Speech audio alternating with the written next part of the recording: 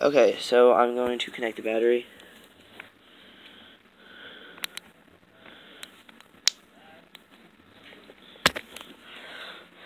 Okay, the battery's connected. I'm gonna, going to turn it on. And turn the controller on.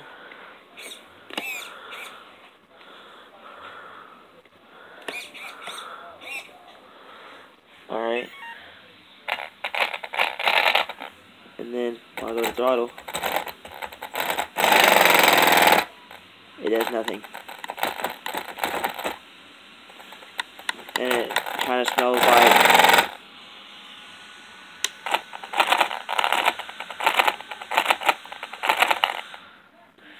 And when it does that, it smells like a burnt smell, almost as if the motor's fried.